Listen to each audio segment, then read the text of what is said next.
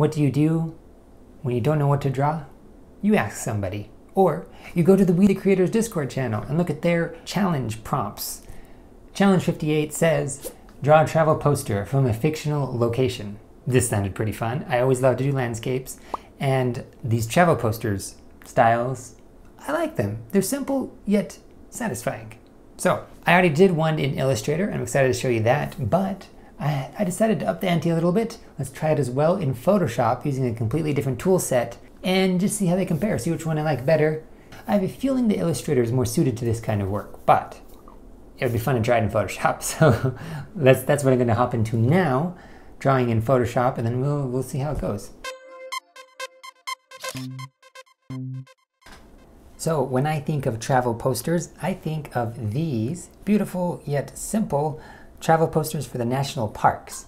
These are created by the Works Progress Administration, or the WPA, in the early 1900s. And so I'll give you a little bit of the history of that and um, why they're so cool, and then go over some of my process for how I did this in Illustrator and in Photoshop, and maybe you can get some, some tips there and from the, from the things that I learned. So, starting out, these posters came about um, after the Great Depression when a lot of people lost their jobs. Um, President Roosevelt he created uh, this new deal in which entailed a bunch of different new agencies that were designed to create jobs and boost the economy. One of those was the Works Progress Administration, and it did a lot of things, um, including infrastructure, building, you know, roads. Um, I can't remember, but a bunch of things. One small part of that included hiring a bunch of artists to create promotional posters, for the national parks specifically, which were relatively new and you know needed some marketing. So this created jobs for artists, and the process they used was silk screening.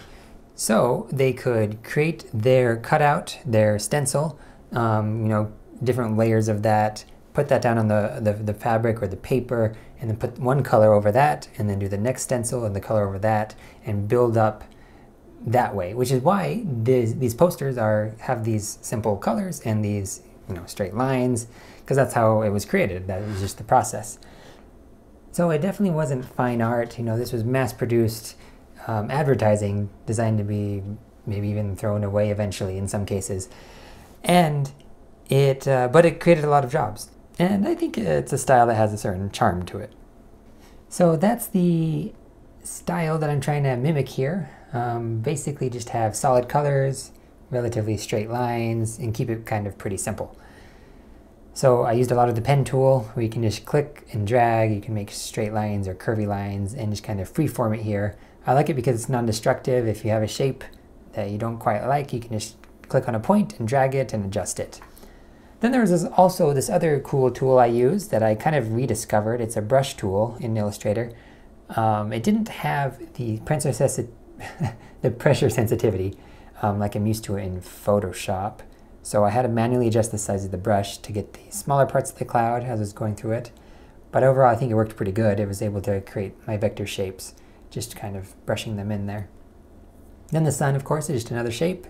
So pretty easy to just kind of throw these things in, which is, I think that's why I thought Illustrator would work well for this because you can kind of work quickly in Illustrator. You don't have to manually create everything. Um, for example, these trees here are symbols, which I also newly discovered. Um, I don't use these very much, but they are predefined shapes and images that you can find in Illustrator and kind of just paste them in like a, like a pattern, kind of you can adjust them, the size, or different things about them and just kind of hodgepodge it together. So it worked really good. Now, in retrospect, I realized this gradient that I'm doing here um, maybe wasn't like 100% true to form. I think it still fits in. It doesn't seem too out of place, but from all of the examples that I looked at from the WPA posters, they are just solid co colors because of that's what the process was. So if I did it again, maybe I'll try to avoid using um, gradients, but that's okay. So yeah, here's my Jurassic Park poster. I tried to find some good fonts for it and create a little bit of a, of a slogan on it, you know, some sort of advertising thing, and bring it together. This was really fun. I think it took me overall about an hour to create. added some flares from the sun, which I guess you could do with the, the traditional silk screen printing. That just might be a little trickier. You'd have to blend colors. So um, I found a font that looks pretty good, just like Jurassic Park um, from online. And yeah, then I just kind of free free-handed these pterodactyls in here. Don't look too close, they're not great, but I, I knew they're going to be small, so that didn't matter too much. Okay, so this is using Illustrator to create a WPA, WPA style travel poster.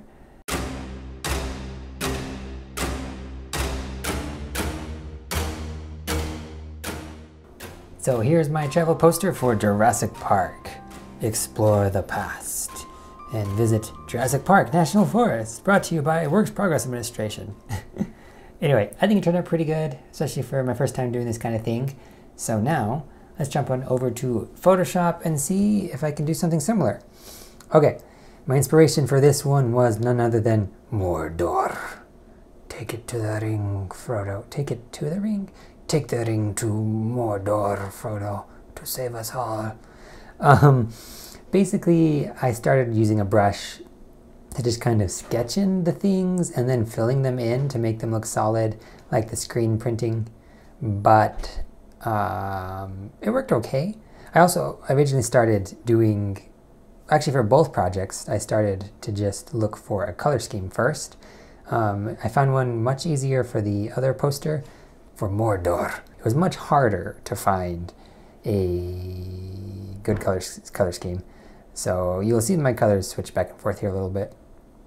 Now I decided what I was doing here didn't work great. See, I'm just kind of brushing in the the highlights on this, but it kind of just looks like a like a Photoshop drawing that I might do any other day.